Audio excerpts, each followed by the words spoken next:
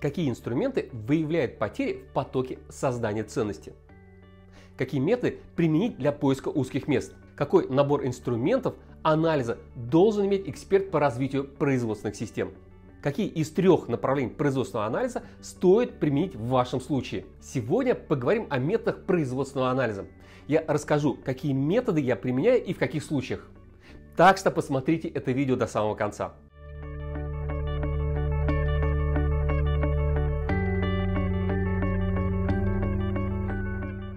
Привет, всем Лина.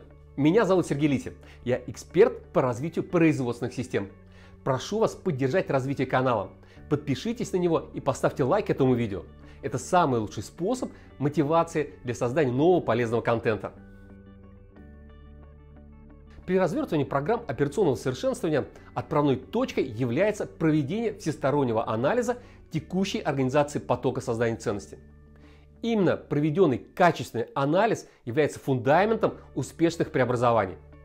Каким набором инструментов производственного анализа должен обладать эксперт? Давайте разберемся. Я выделяю три направления анализа, и о каждом из этих направлений я сейчас расскажу. Первую группу инструментов я назвал бы функциональной диагностикой.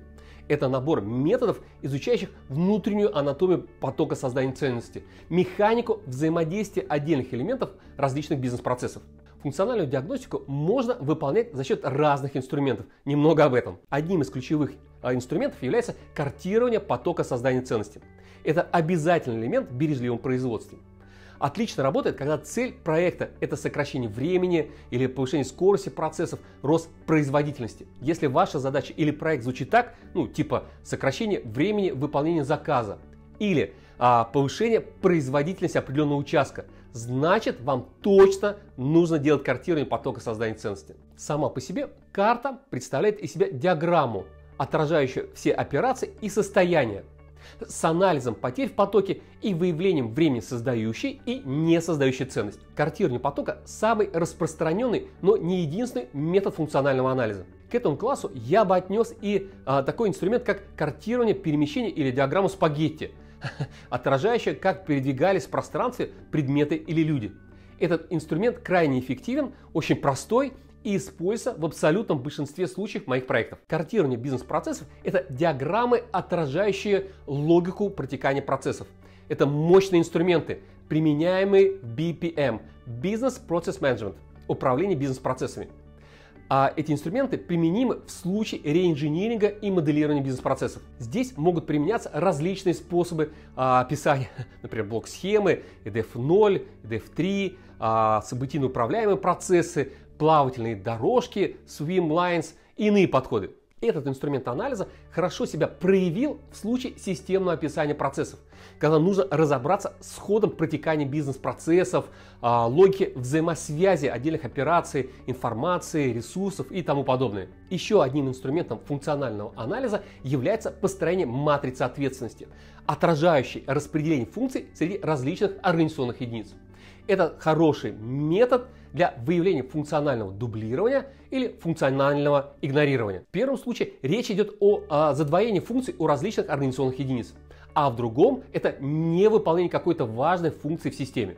Также к функциональному анализу я отнес бы такой метод, как функционально-стоимостной анализ, который позволяет определить ключевые экономические параметры объектов исследования. Что ж, я дал обзор функциональных методов анализа, навыками которыми должен обладать любой эксперт по росту операционной эффективности. Функциональный анализ дополняет такой класс инструментов, как статистический анализ. Статистический анализ для вас, если вам нравится подход 6 сигма. Но не только статистические методы могут применяться широко, не только в рамках методов, разработанных Моторолой. Кстати, если вы хотите разобраться, что же такое 6 сигм, напишите вопрос в комментариях. А если таких запросов будет достаточно, я сделаю отдельное видео. Итак, статистическое управление процессами SPC включает в себя ряд мощных инструментов анализа. Например, гистограмма или диаграмма распределения частот позволяет проанализировать, насколько процесс статистически стабилен. А анализ таких показателей, как среднее квадратическое отклонение, индекс пригодности процесса, доверительный интервал, позволяет получить важные характеристики для анализа процессов. Гистограмма я применяю по широкому кругу исследований. Это и задачи, связанные с сокращением времени, и все, что связано с качеством. Одним из самых интересных инструментов в статистических методах управления являются карты Шухарта, отражающие динамику показателях в пределах границ допуска. Стоит отметить, что в рамках производственного анализа я не так часто использую карты Шухарта в рамках отдельных проектов. Они больше применяются а, для отладки оперативного регулярного отслеживания процессов в части скорости, выработки, простоев, качества и других важных статистических оперативных показателей. Диаграмма Паретта. Диаграмма, позволяющая определить, например, 20% видов брака, которые создают 80% случаев брака. Такого рода анализ позволяет выявить наиболее распространенные потери. Поэтому я обязательно его применяю при анализе любого вида потерь в потоке создания ценности. Если вас пугают все эти гистограммы, 6 сигмы, карта Шухарта, то применяйте более традиционные, логические и понятные методы статистического анализа. Например, трендовый анализ, позволяющий определить общее движение показателей во времени, выявлять а, определенные закономерности в этой динамике, то есть это тренды, спадающие или набирающие силу. Структурный анализ или методы стратификации исследуемых статистических данных, расслаивание целого на составные элементы по определенному признаку. Сравнительный анализ, когда сравниваются различные значения, например, план, факт, прошлый период, текущий период. Один цех другой цех, ну и тому подобное. Используйте статистические методы анализа, если хотите глубоко разобраться в текущей организации и выработать прорывные решения по улучшению. Я прошу вас поддержать проект LitiPro. Это очень просто. Подпишитесь на канал, нажмите на колокольчик, чтобы быть в курсе новинок на канале. Поставьте лайк этому видео, сделайте репост видео, напишите комментарий. Спасибо я рассказал о двух направлениях анализа производственных систем – функциональном и статистическом. На практике я обязательно их усиливаю анализом проблем. Это группа методов, направленная на выявление и структурирование нежелательных явлений в текущей системе управления. Такими инструментами обладают все подходы. Это и Lean, и 6 Sigma, и теория ограничений систем. Другие подходы. В бережливом производстве традиционно применяется метод 5 почему. Когда по имеющейся проблеме, ну, например, поломка оборудования, мы последовательно задаем вопрос «почему?». То есть почему оборудование поломалось. Таким образом изучается глубина проблемы мы пытаемся выявить все возможные причины. 5 почему я использую очень активно во всех проектах. Этот метод очень хорош для изучения локальных проблем. Чаще всего я его применяю при анализе брака, ошибок, а также там, поломки или простоев оборудования. Это не значит, что в других случаях я его не применяю, но в этих направлениях это происходит чаще. Я не использую 5 почему в изучении системных проблем. А когда изучаемая область обширна, что я применяю в этом порядке, я обязательно скажу чуть-чуть попозже. При анализе более сложных явлений, процессов, я использую такой инструмент, как дерево текущей реальности. Подход, описанный в теории ограничений системы.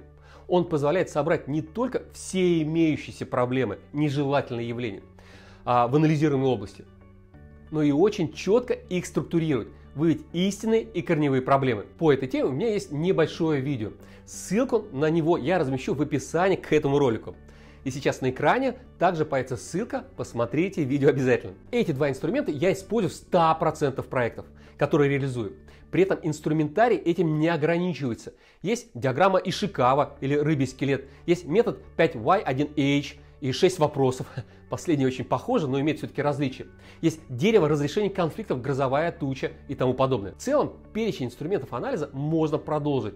Можно включить сюда такие методы, как математическое и имитационное моделирование, теорию расписаний, и методы критического пути, различные матрицы и иные инструменты. Какие методы, по вашему мнению, нужно иметь в своем арсенале эксперту по анализу операционной деятельности? Напишите, пожалуйста, в комментариях, давайте это обсудим. А на сегодня это все. Подписывайтесь на канал. Всем Лина, увидимся!